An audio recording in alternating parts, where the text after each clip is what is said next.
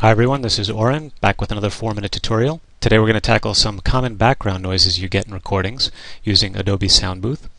So what we have that we're going to fix is coughing noises, clicking or lip smacking noises, and plosives, which are those puffs of air you get from P's, B's, and T's, especially into a microphone without a windscreen. Let's get right into our first clip. We have our waveform view up right now, and you can already see that these spikes stand up above the background. Let's play it out.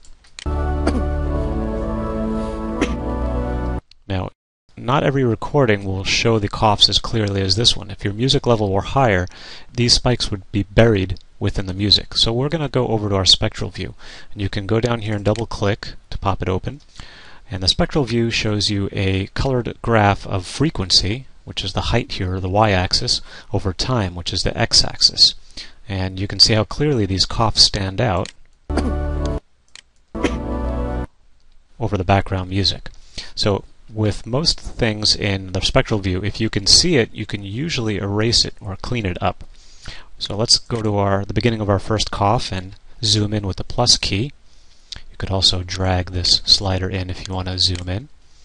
And we're going to highlight this as closely as we can just to the noise.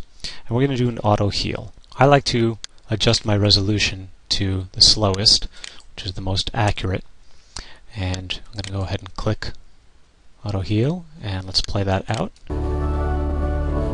Very nice. Now what it did is it sampled the sounds before and after and did kind of like a audio crossfade in the middle. Now healing doesn't work for everything, but in most cases it works fairly nice. Let's play this second clip out. Um, in their most exciting times in their lives, um, but okay, right over here is the problem. But that's a lip smacking or but or a clicking noise. And there's a few ways you could tackle this. Now, if you have background noise, which we're lucky enough to have a clean recording, um, you can see how dark it is in some of these frequencies. That means we don't have a lot of background noise. You can take this area and just bring it down quite a bit. That minimizes um, it. But, but you get that little dead air space where you don't have room tone. So we're going to do another healing on this. And I'm going to zoom in, make sure I'm just getting the right frequencies and you want to make sure that your time selection tool is chosen. So we're getting the entire frequency range top to bottom.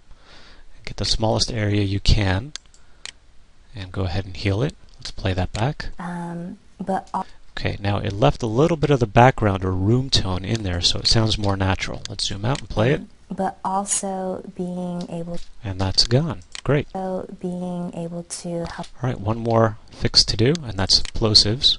With this, it's sometimes a little more difficult. Let's play it out. Gift of prophecy. Okay, you can hear it right over here. Prophecy. And you can see it. It's that high energy down in the low frequencies. If we zoom in, we can see there's a really high energy uh, signal over here. And that's what we want to work on. Not necessarily the rest of it, but plosives are very low frequency signals. So instead of healing the entire spectrum, we're just going to lasso the very bottom of this and do a heal on that part. So that's just the bass frequencies. Let's play it out. The gift of prophecy. And away it goes. I have the gift of prophecy.